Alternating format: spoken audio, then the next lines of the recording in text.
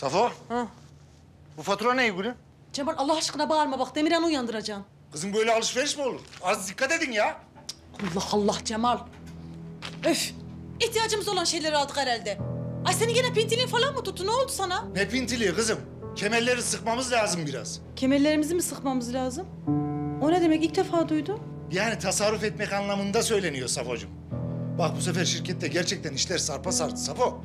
Bundan sonra her göreçki ferdi dikkatli olacak. Ay of tamam Cemal ederiz. Ay seni görün de battı sanır ha. Ne zaman alışveriş yapsam bunu da getiriyorsun. Kızım harcamalarınıza dikkat edin diyorum. Bitti gitti tamam. Konu kapandı.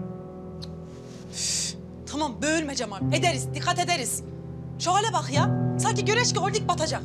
Pintisin işte, pinti.